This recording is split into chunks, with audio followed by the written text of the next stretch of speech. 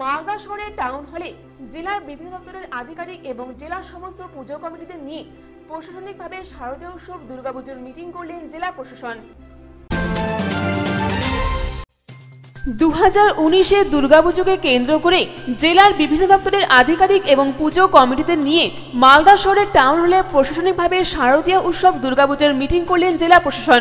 সেখানে উপস্থিত ছিলেন মালদা জেলা শাসক কৌশিক ভট্টাচার্য, জেলা পুলিশ সুপার অলোক রাজুরিয়া, জেলা পরিষদের সভাধিপতি গৌরচন্দ্র মণ্ডল, ইংরেজবাজার পৌরসভার প্রতিনিধি হিসেবে ছিলেন কাউন্সিলর শুভময় বসু ইংলিশ বাজার এবং ওল্ড মালদার বিডিও সহ অন্যান্য আধিকারিকেরা।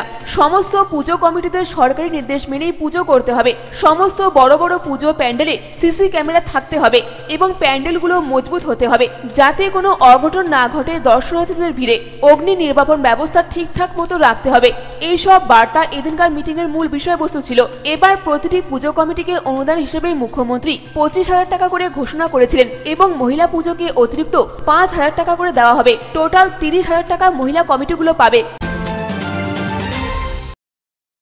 আজকে কি মিটিং হলো পুজো উপলক্ষে আমাদের যে সমস্ত পুজো কমিটিগুলো আছে তাদেরকে আমরা আজকে ইনভাইট করেছিলাম।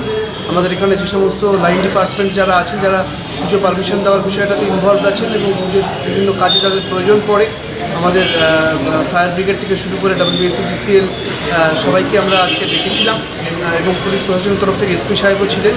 আমরা আলোচনা করলাম ডিটেলসে যে কী বিষয়গুলো আছে, আমাদের টেবিল সিস্টেম ইত্যাদি যে বিষয়গুলো আছে, নিরাপত্তা সেফ লাইফ সেফ লাইফ এই বিষয়গুলো আমরা আলোচনা করলাম।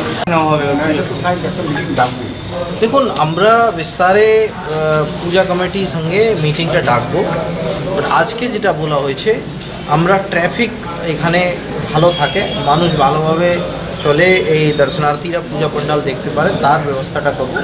গত বছরে কিছু অসুবিধা হয়েছিল মানুষজনে সেটা আমরা এনশোর করব যে ওটা না হয়। তার জন্য আমাদেরকে বাহন চলাচলে যে কিছু রেস্ট্রিকশন করতে হয় সেটা আমরা করব। যদি তার সময়ের সীমাটাও বাড়াতে হয় তাহলে সেটাও আমরা বাড়াবো। ডিজে নিয়ে মানুষ খুব অস্বস্তিতে পড়ছে। ডিজে যেটা ডেফিনেটলি ডিজে যেটা আছে ওখানে আমাদের নির্দেশটা থাকবে। আর নির্দেশ সঙ্গে সঙ্গে আমরা এটাকে কড়াভাবে ইমপ্লিমেন্ট করব।